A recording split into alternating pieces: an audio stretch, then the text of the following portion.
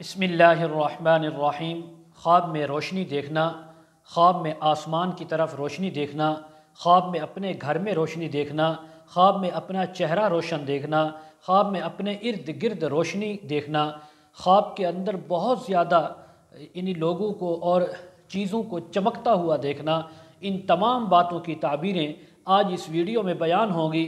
Video को आपने मुकम्मल देखना है। हमारे चैनल को सब्सक्राइब करना है।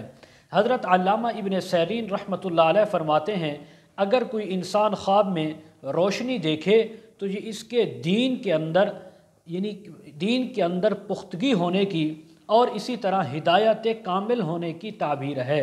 और इस बात की भी ताबीर है कि ये इंसान अगर पहले हिदायत याफ्ता नहीं था तो अब ये हिदायत हासिल करेगा। अगर ये पहले हिदायत पर था, दीन इस्लाम पर था तो इसके दिल के अंदर दीन पुख्ता होगा। और अगर कोई ख्वाब के अंदर देखे कि उसने किसी से रोशनी ली है या किसी ने इसको रोशनी दी है तो फरमाए, इस बात की ताबीर है, या यानी कि ये किसी को इल्म दीन सिखाएगा या ख़ुद इल्म दीन किसी से, आलम से, बुज़ुर्ग से सीखेगा। और इसी तरह एक ताबीर इसकी अहल ताबीर ने यह भी बयान की है कि ये लोगों को सीधा रास्ता दिखाएगा, दुरुस्त रास्ता बताएगा। अगर किसी इंसान ने ख्वाब के अंदर अंधेरा देखा है और जुल्म, यानी जुल्मत देखी है तो ये बददीन होने की, बदरा होने की, गुमराह होने की ताबीर है। हक ताला का फरमान है, अल्लाह वलीदीन आमनु युखरजुहम मिनज़ुलुमात नूर। अल्लाह ईमान वालों का मालिक है, इनको तारीकी से नूर की तरफ़ निकालता है।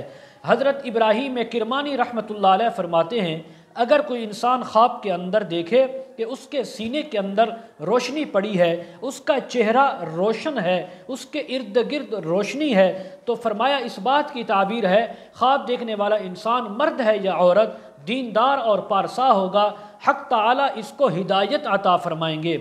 इसलिए कि हक ताला का फरमान है, अफमन शराह सदरइस्लामी फ़हू अला नूर रबी क्या वो शख्स कि जिसका सीना अल्लाह ताला ने इस्लाम के लिए खोल दिया है तो वो अपने रब की तरफ़ से नूर पर है, हिदायत पर है।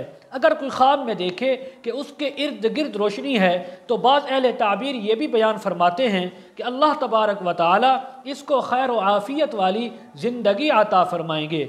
हज़रत इमाम जाफ़र सदक रहमल्ला फरमाते हैं, अगर कोई इंसान ख्वाब में रोशनी देखे तो इसकी चार ताबीरें हो सकती हैं। नंबर एक, दीन के अंदर हिदायत पाना।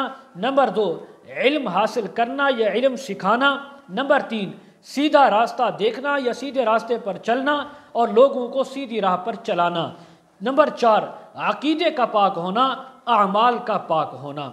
मज़ीद अगर आप इसके मुतल ताबीरें जानना चाहते हों, मसाइल मालूम करना चाहते हों इस्तारा करवाना चाहते हों और इसी तरह अपने बच्चों को ऑनलाइन कुरान मजीद पढ़ाना चाहते हों, वीडियो के कमेंट सेक्शन में या डिस्क्रिप्शन में हमारा व्हाट्सअप नंबर दिया जाता है, आप हजरात कॉन्टैक्ट कर सकते हैं। वाखिर दावाना अनिलहमदिल्ला